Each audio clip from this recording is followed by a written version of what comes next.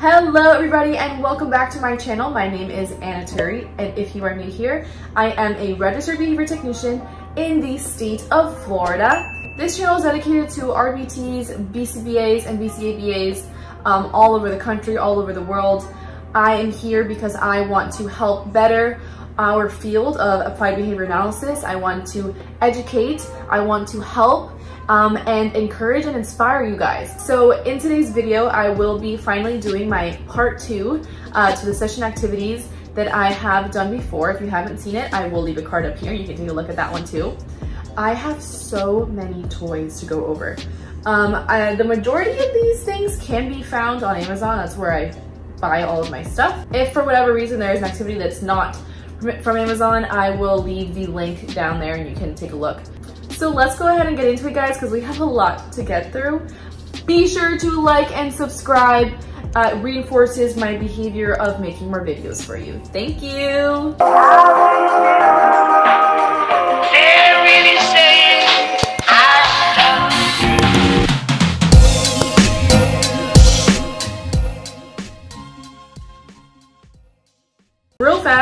I did make a new Instagram account uh, dedicated specifically to this channel. So if you aren't already, please be sure to follow me on Instagram um, at behavior underscore works.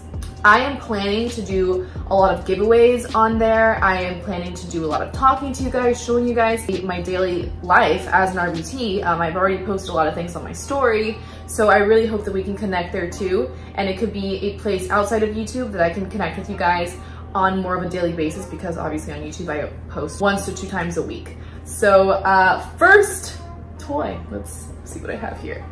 So many of these toys are from learning resources. I've gone on a little bit of a tangent on the learning resources stuff. I don't know how, but they have really good stuff, very decent prices, and I really enjoy it. The first toy that I have here is from Learning Resources. Under the Seashells Word Problem Activity Set.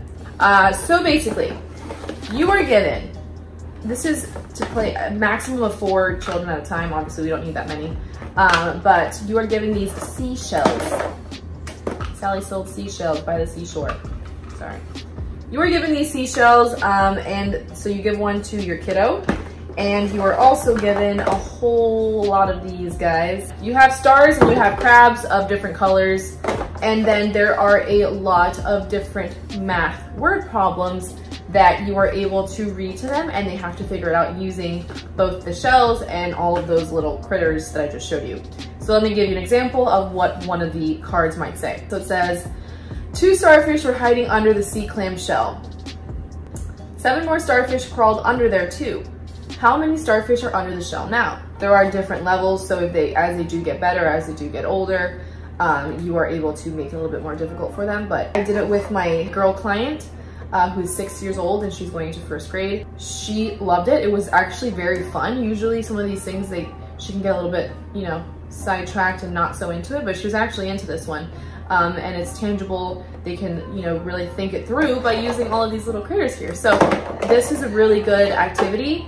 It's fairly new for me, but so far, so good. Okay, next activity I have is called Itrax, also from Learning Resources. The only tip that you might consider with these um, is to laminate these because they're paper and you don't want them I don't know. I always think property destruction or anything like that. So basically, you give them, uh, you give your kiddo one of these boards. Now there are different levels, they have different levels. So this one is uh, Brainiac.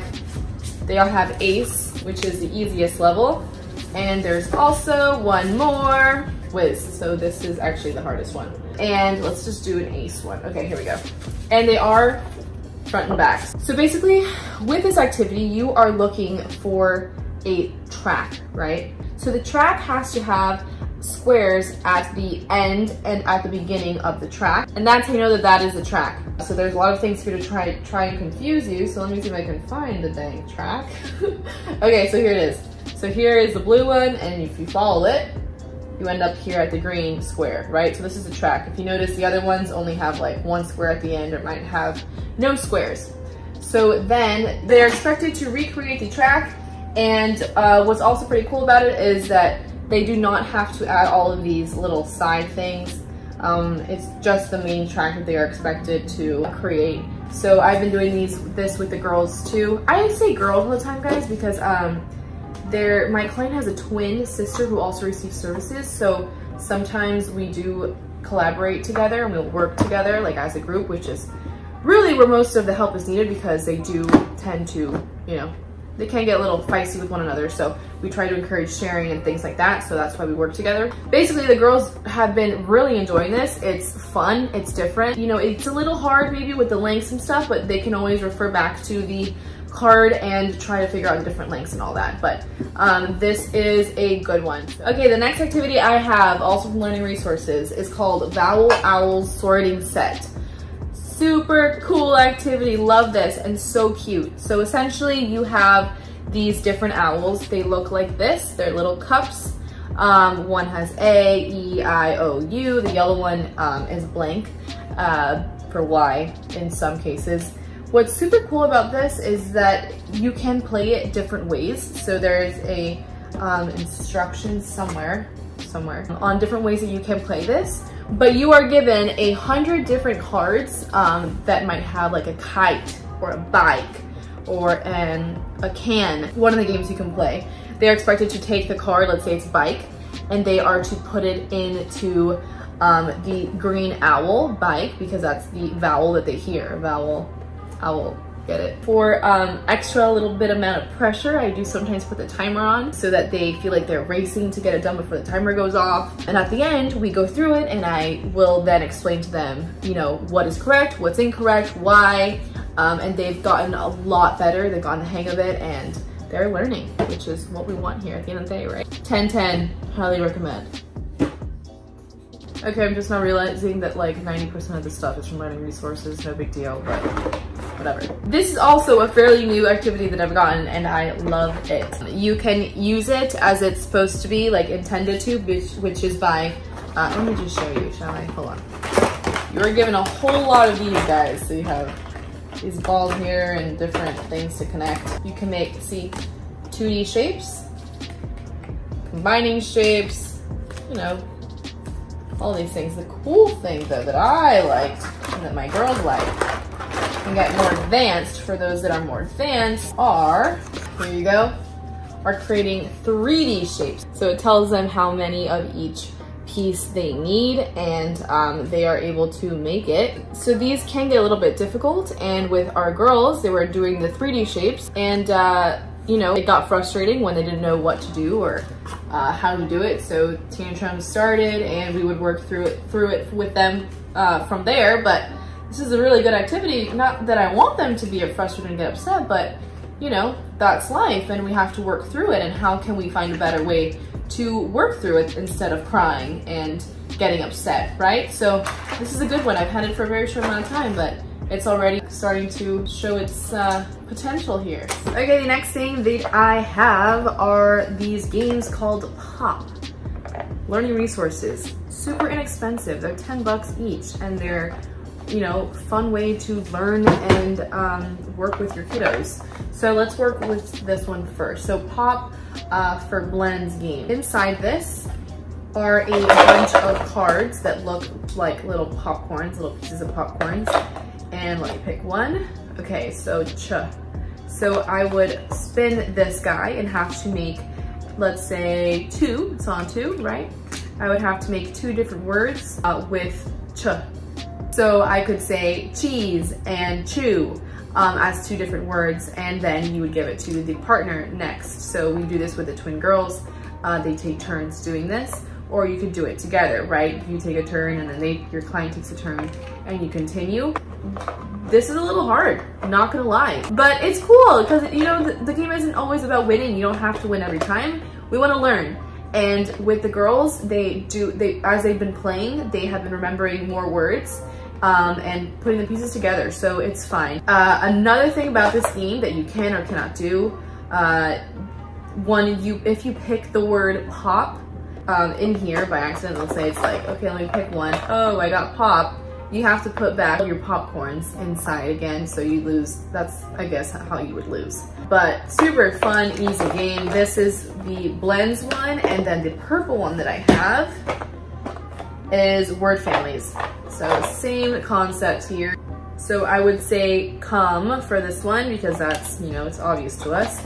And the girls have been doing really good. So this one I could say veil or veil. Um, just have to find the endings. And of course there are the few pieces in here that are pop. But 10 bucks and you get a whole activity for it? Yeah, any day. Next up, Little Lemonade Standoff. If this game is anything, it is super cute. It's a memory matching game. So it each player gets their own little lemonade stand, which is a little bit distracting at times for the girls. I'm gonna be honest with you because it's so cute that all they wanna do is like pretend like that they're selling lemonade when it's not their turn. It's just like trying to get them back on task is interesting. but uh, so these are the little lemonade stands you see. They have different colors. There's a total of four of them. Essentially how this game is played is they are to pick a card. You can give them however long you'd like. You know, there are actual rules, but you guys can play this however you like, you know, make it uh, easier or harder for your own client. You know them and how they work. But we give them like five to 10 seconds to take a look at this. And then they are to recreate the same thing by using the pieces that come with the game. So the little blue thing here, the tray, this is it right here. And then you are also given your little cups of lemonade, which are these guys right here. Like how cute is this game? It is so cute and distracting. Me too. I, I mean, can I really blame them for getting distracted? I don't know. Sometimes what gets tricky with this is that sometimes the lemonade cups do or do not have the caps. So see the cap right here? Uh, so here they would have to remember if the cap is there or if it's not there. But it's super cute game, fun to play, and a great activity to pass the time. For those of you that always ask me, you know, like, what do you do for five hours? Guys, I do all of these things and this is what keeps us going, keeps us busy. I run my programs with them, but that doesn't take the entire five hours.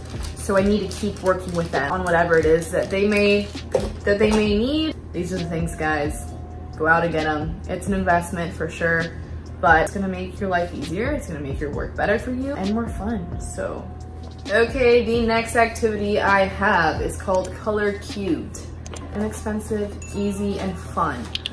This kind of reminds me of the Dominoes a little bit. You get these cards, so every player is given uh, five to eight cards, and then you set one card down, and you are to start matching uh, with colors. And someone does need to keep track of all of the points that you know each player gets and you get a point by matching different colors. Uh, the more colors in one group that you get per card, the more points that you accumulate. I'm not sure if that sounds like very difficult, but it's not difficult. I think the first day you might need a second to process where you're like how to count the how to count all the colors and the points, but it's really easy and it also comes with instructions, obviously. so super fun, very similar to Dominoes and great way to pass the time. This game could take us up to 20, 25 minutes uh, to play and they do some critical thinking on what their next move is gonna be if they wanna get more points, right? So that's color cubed, ladies and gentlemen. Okay, so the next activity I have is called the time activity set and it is a great way to try and teach your kiddos how to tell time. I hope that's not a lost art yet. I know a lot of us just look at our phones, digital, but we should probably still try to teach them how to look at an old, old-fashioned clock. Does come with this cute little clock. This little kit here comes with a lot of different activities that you can do with time. One of the activities is a puzzle. So you break these guys up and they are to find the time and you know, try to find this time and connect it with the actual time, so it's one o'clock. Uh, you can also have them write down, uh, you know, their own hands and try to figure out what time it was that they created. And you are also given um, some dice. They roll the dice, see the time that they have created, and then put it onto the clock. You're also given another little clock here that you can use with a dry erase marker. And you guys always remember, you can make your own little activities out of this too, you know? Adapt them to your client. You don't have to follow the rules word by word. I adapt, I adapt them to my client. I know what is too difficult or what is too easy. All right, guys, so I think I'm going to stop right there. I do have more things. I promise you, I do have more stuff. I could make a part three if you guys are interested. I don't wanna make this video too long. Please be sure to give me a thumbs up and give me your thoughts on these toys. What do you guys think? Is this something you could see yourself using for your kiddos? I know that I went over a lot that might be for those kiddos that are more advanced. If you want something a little bit easier, you could try and check out my other video. I have um, easier activities there. I love what I do, guys. I love what I do and these things make me happy because it makes them happy and I have things to do with them. So whatever. Thank you so much for watching and I will see you later. Bye. And